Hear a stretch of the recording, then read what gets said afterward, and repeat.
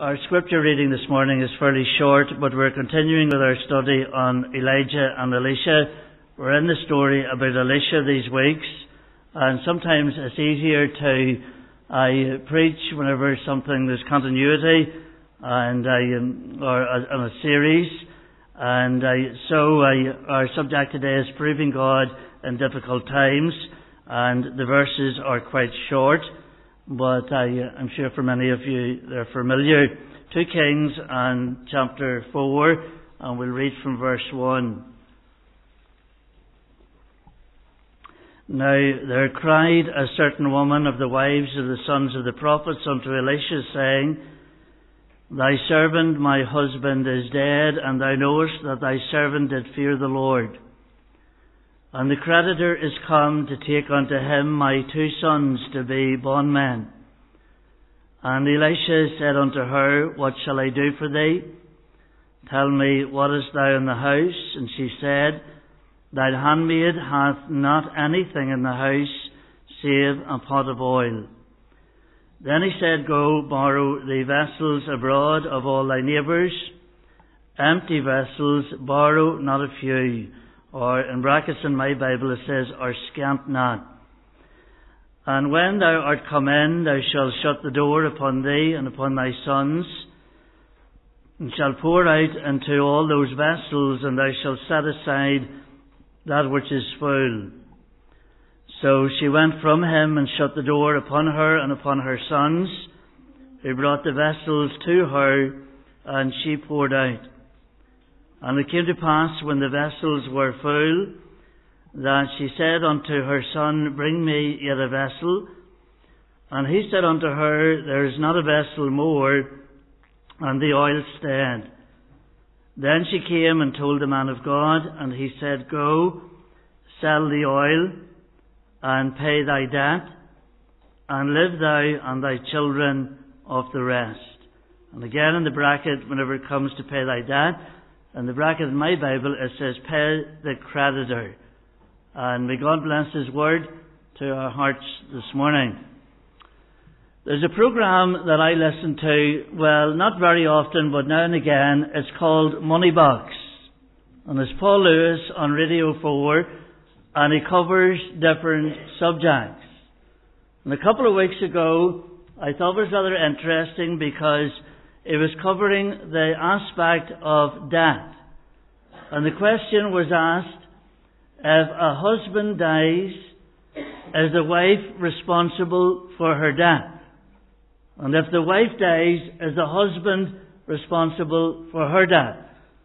And so I listened to it, not that I don't think my wife's in too much debt, I, I don't think so, but I listened very attentively anyway to see what the answer was. Am I responsible for my wife's debt if something happens to her and she leaves me huge debts or vice versa? The answer is yes, and the answer is also no. And you may think, well, that's a strange kind of an answer. But I remember years ago doing just basic GCSE law, and it was only back then that I heard the term about joint tenants and tenants in common. And so if my wife and I was to own a property, and we own that property as joint tenants, and I leave I, some debt, that debt cannot come against my property if I'm a joint tenant. It's only about 20 years ago that I heard the other term where people own property and they own it as tenants in common. And if you own your house as tenants in common, you own half the house, your husband or whoever owns the other half. And so whenever it comes to the end of life, you decide where you want your half to go, and your spouse decides where they want their half to go. And so I listened, I, it was quite interesting about it, about the subject of death. Now, as I come and as I prepared this a week ago, I, this story here, it follows on from the story of Elisha, where you remember that Elisha has been performing miracles and there's different things that's been happening. But then there's this certain woman, she comes and she cries I to the prophet of God. This is a story about a cry for help from one of the wives of the prophets. These prophets were spiritual fathers. Uh, the prophet Elisha and also the prophet Elijah. There were junior prophets and there were also future prophets. They were what we would call today Bible college students who are preparing for ministry. And some of the sons of the prophets, we know that in the Old Testament, priests and Levites, they were allowed to marry. And so this one was married. This is a story about death. And I, as I say, it's something that no doubt will apply to all of us, maybe at some stage of our lives. There's an old German proverb, and it goes like this here He who borrows sells his freedom. It was Solomon and all his wisdom that reminds us that the borrower is the servant of the lender. And so we have all that already in the scriptures. Now, I read a story about a, a woman, and she was having problems paying back her loan. And so the newspaper carried the story of this woman, and she went to the bank manager, and she says to the bank manager, she explains she's having trouble with her easy payment plan. Could he offer her an easier one? now, that could be rather uh, complicated maybe. But I want to say this here that that is nothing new. It's something that has always been around. Uh, um, the only way that people uh, so often survive in a debt situation is where you're advised that if you're in debt, to speak to your financial provider as soon as you realize that there's a problem.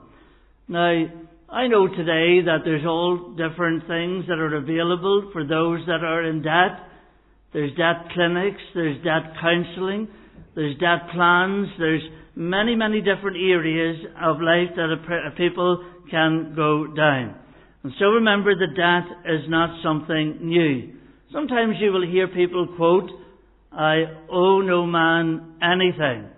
I heard a preacher saying one day that uh, he didn't have a, a house or a mortgage for the simple reason he was expecting the Lord to come back and would the Lord take him off and leave him with a heap of debt. Now, that's maybe opens up a little bit of a debate or that. We could say, well, whoever wants, whoever's left behind can sort it out afterwards or that. But I don't think the Bible is dealing with that.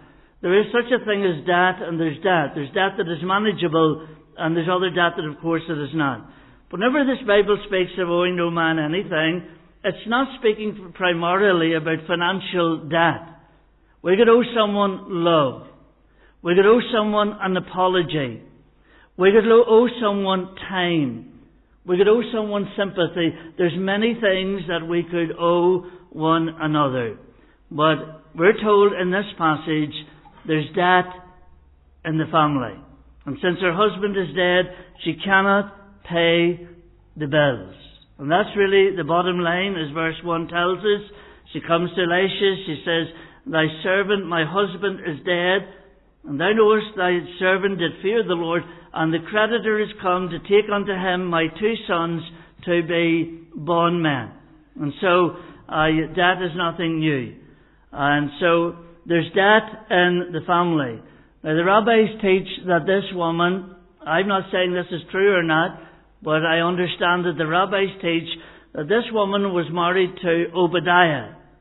And Obadiah was the man that hid a hundred of the Lord's prophets in a cave, and he fed them on bread and water.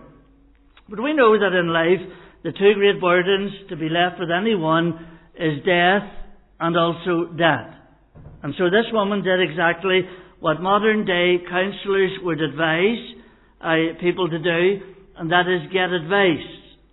Now, some people may be too proud to get advice whenever there's that. Some may think and they may feel ashamed. We ought not to.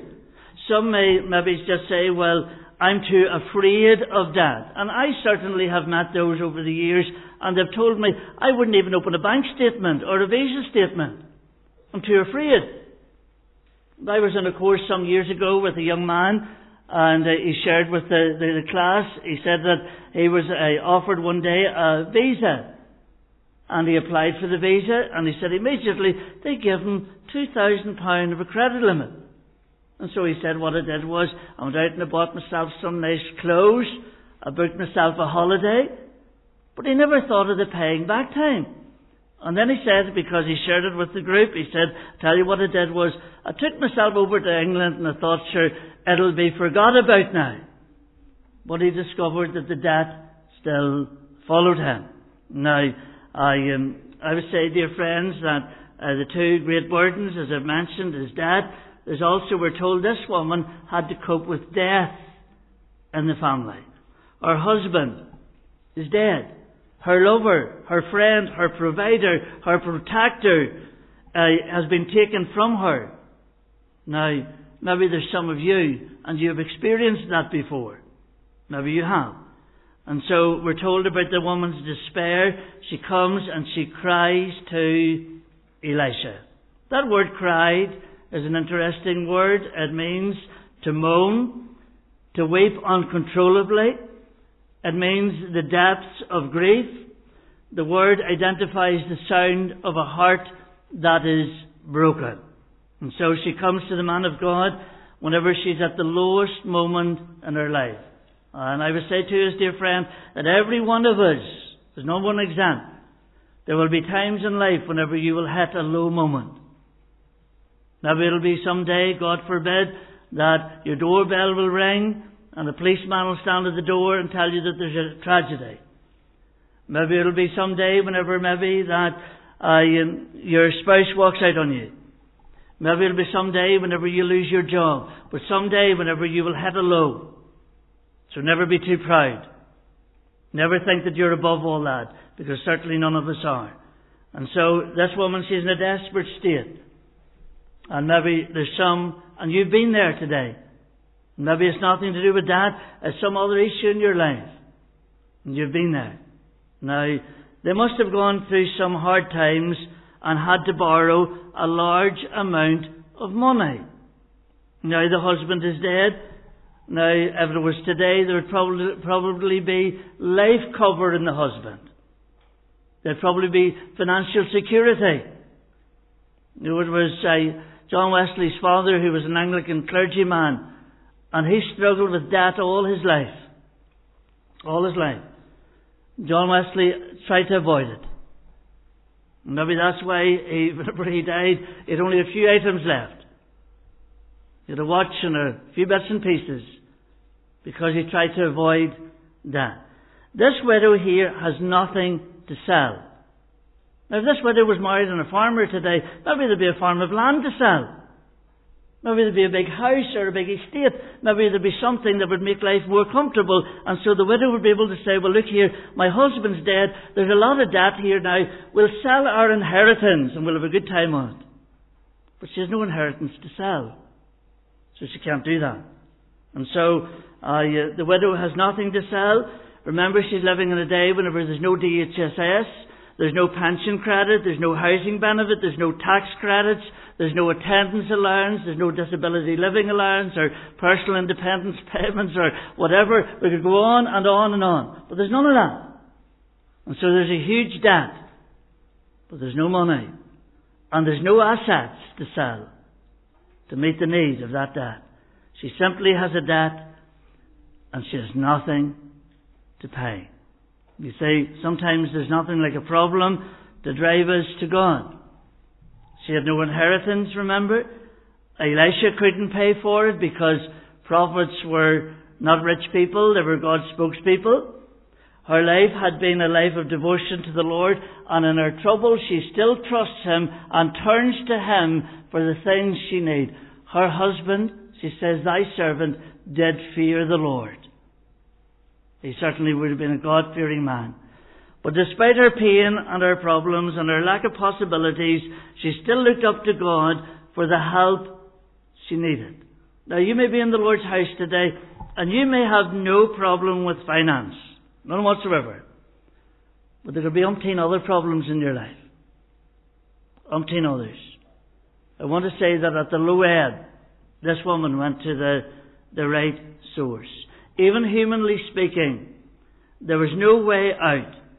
She knew she couldn't see everything, that God was still in control. She knew God, she knew God cared, and so she cried to Him by faith. It's a wonderful thing to know today that God cares. I don't know if you profess God's child and you think God doesn't care for you. Well, all I can say is, dear, help you. What kind of a heavenly Father do you worship today? Because He does care. Do you not believe His word whenever He says, do you think He's a liar? And I that with all due respect. Whenever Peter says he cares for you, do you say, no, God doesn't care for me? Well, all I can say is, dear, help you. If that is your attitude, because He does care today. He's the one that cares. He knows all about our struggles. Now, there's some lessons in this verse, uh, these verses, that we need to note here today, and that is that every one of us at some time, and I've already covered this, will arrive at a low point in our lives. There will come a day whenever you will reach the end of your rope. I read about that 11 year old lying drunk in her own vomit. I said to myself, well, God help that family. It's not an easy, an easy day to bring up children. It's not. It's rather difficult. Maybe someday your wee girl will arrive and tell you that she's pregnant. Or your son will arrive and tell you that there's some wee girl pregnant to him. And that may shatter you and shatter your life and shatter everything else. I'll tell you this, dear friend, that there will be times whenever you will reach a low in your life. Some have already maybe been brought to, to that point. Some have been led through that point and some can testify maybe to the very fact that at a low ebb, God has been there to help. You see, uh, others will arrive there someday. Job tells us that we will all have days of trouble and triumph. Uh, and maybe you face that today. I was with someone the other day on Wednesday whenever they took their last breath at 69 years of age and goes out into eternity. That day will come for us all, sooner or later. And that's why I trust that above everything else that you're saved. That you know that God's able to save you. I had to, I said the other day, in love and in all due respect, if I was gathered in Craigavon Hospital, because I've had contact for a long, long time, and I had to say, well, you know, at the end of the day, I'm not going to be a hypocrite here. So if you ask me to take this funeral, I'm not going to be a hypocrite. I'll be sensitive. I hope. But the one who has departed this life, as far as I am concerned, never had any time for God. And that's sad. And I can go back 35 years, which is a long time. You know, whenever you reach that point of a low, the world, the flesh, and the devil, they're all going to tell you that God doesn't care, but He does. There's nothing hidden from His view. Maybe today in the Lord's house, your problem is insurmountable, you feel, in your own eyes. You know, dear friend, it's God's opportunity in disguise. Now, the creditor arrived at her home, and to her dismay, he wants to take her two sons as slaves. Now, some of you are old enough to know, because I remember it. Back in the 70s, whenever farmers bought land, and my father was one of them, he bought in a couple of farms of land. And back in the 70s, you would be doing very well even to have paid the interest. The interest rates was over 20%. And some of you will remember that. I do. And I can say as a family we never went hungry or that, but I certainly, there certainly was nothing to throw round because anything my father had, he worked for. And so whenever it came one day to my father said to me, he said, What am I going to do with this land? And I, I remember saying to him, well, 70 or 80 acres or whatever, if you divide it up, it's not much good to a squad of ones. And I said to my father, I said, as far as I am concerned, those that worked the land are the ones that are entitled to the land. That was my view. And I remember my father turning to me and saying, but you've helped out a right wee bit too. I said, no, I didn't. I left home quite early. I, I helped out where I could, but I never ever would have made a farmer, even though I loved animals. I never made a farmer. I don't think I would. But I say this, dear friends, I, this morning, that here's the creditor, and he arrives. And I tell you, if you're sitting across, maybe things has changed now, from so, some old bank manager telling you, well look here, you better improve, you better get more money in, or else this, that or the other thing. It's not a very nice experience. Now I've paid off cars before. and I'll always be glad, mind you, to see the last payment. I'll always be glad to see that. And I'm sure any of us do whenever it comes to paying something off. But here we're told the creditors arrive and he's going to take our two sons. You see, she has no farm to take. She has no house to take. She has no car to take. So the only thing he can take is her two sons and cause them to become slaves. And so that was an awful dilemma for this poor woman. You see, she didn't know what to do. Her situation was hopeless, but she got her priorities right. And you know, we ought to always teach our children, you don't have to live like the Joneses. You don't have to. Don't have to. We don't have to climb the social ladder. We don't have to have everything that everybody else wants. This woman here, verse 2 tells me that Elisha said unto her, What shall I do for thee? She discovered what was really important. Now, debt counsellors today will advise you on a debt payment plan. And if you're in debt today and you go to a debt counsellor, they will look at your income and your expenditure and you'll make out a big spreadsheet. And maybe you say to yourself, whenever I get my pay, my pay looks so big. But then I lose so much in national insurance contributions, so much in tax, so much maybe with travelling expenses, so much with this, that or the other thing. And you say to yourself, you know, maybe I have a glorified wage. It looks big.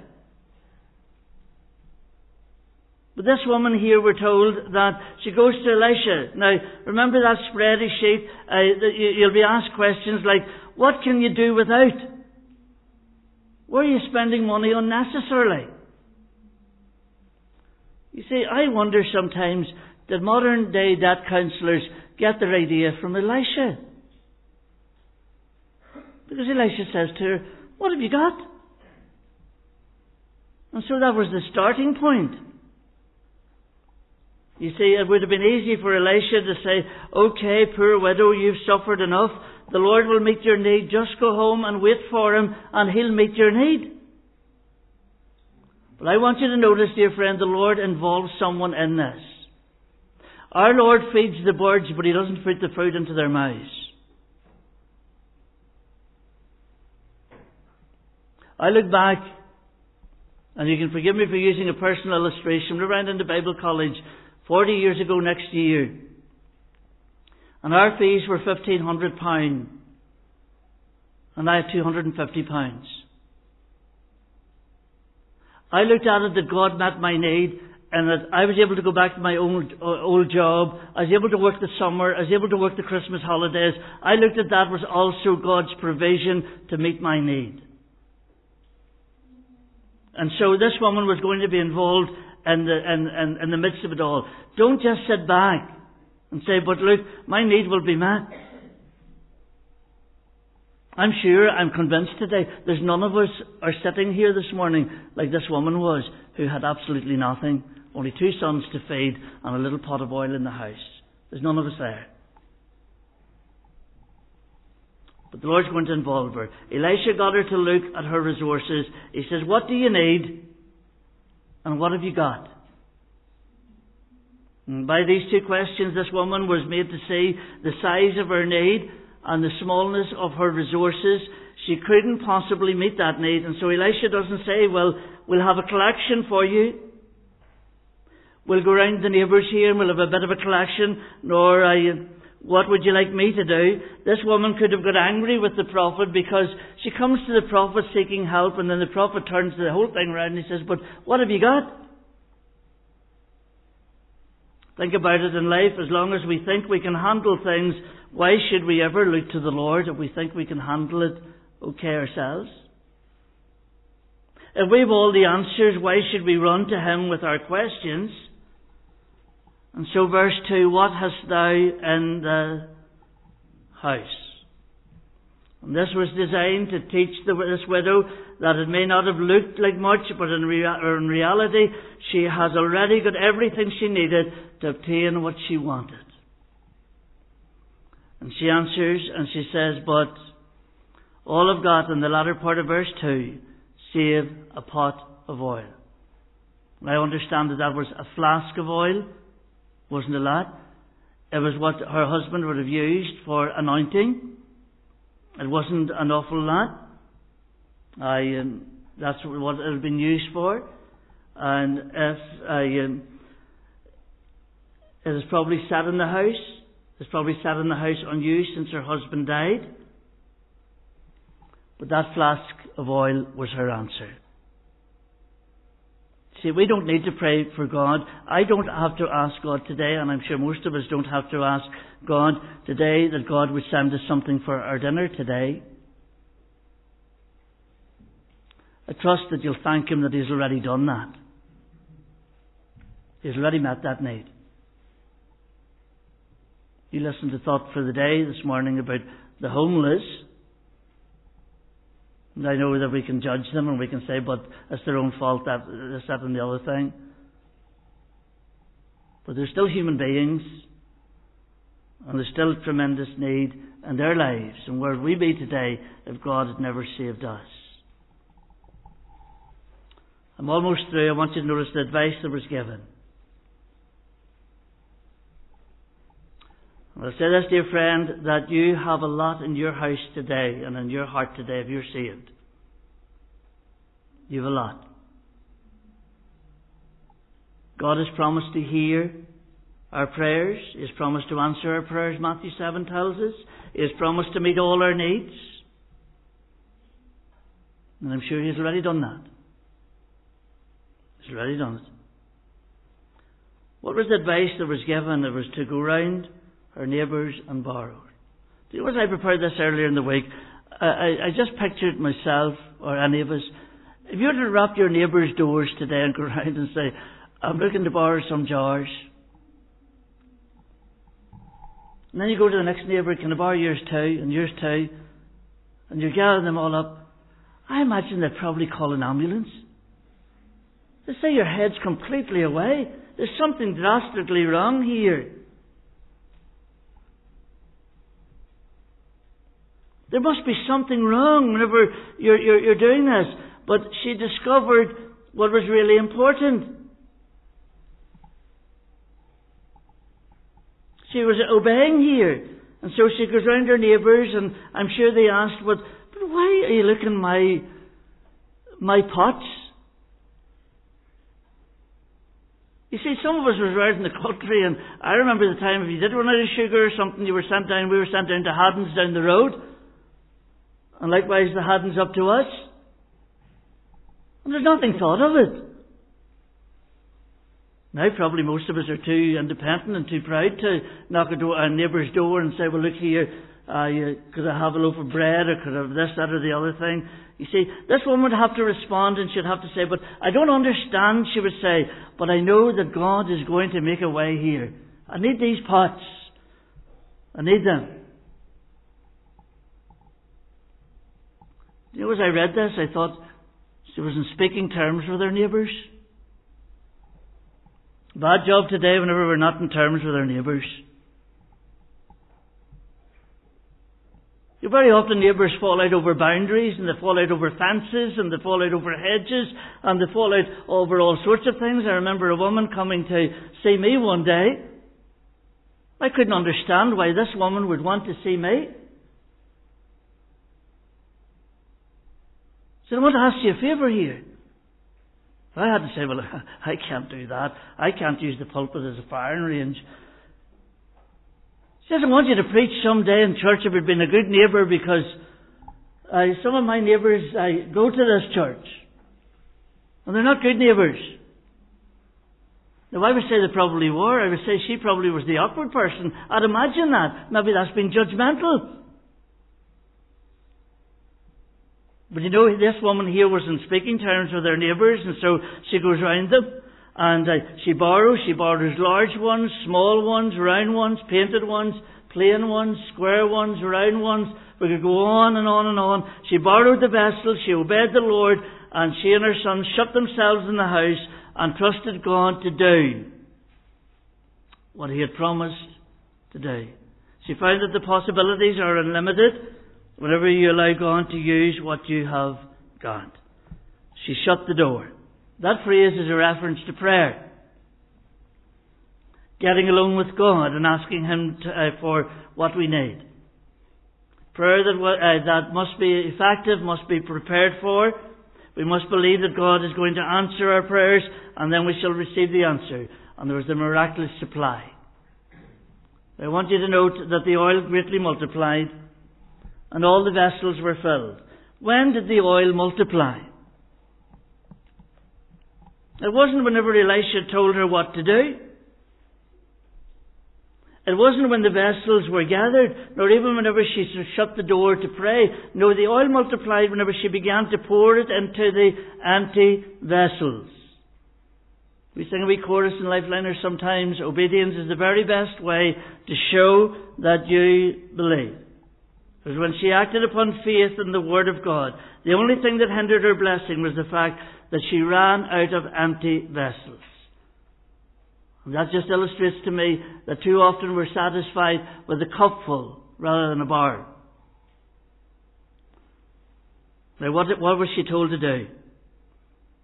Because we're told that uh, in verse 6, and it came to pass when the vessels were full, that she said unto her son, Bring me yet a vessel. And he said unto her, There's not a vessel more. And the oil stayed.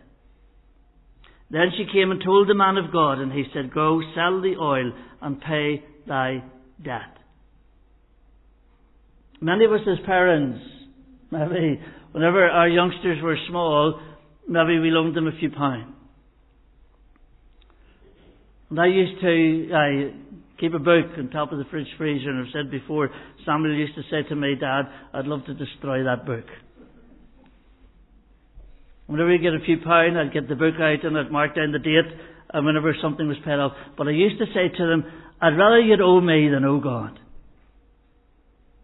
You make sure above everything else that you tithe everything that you've got.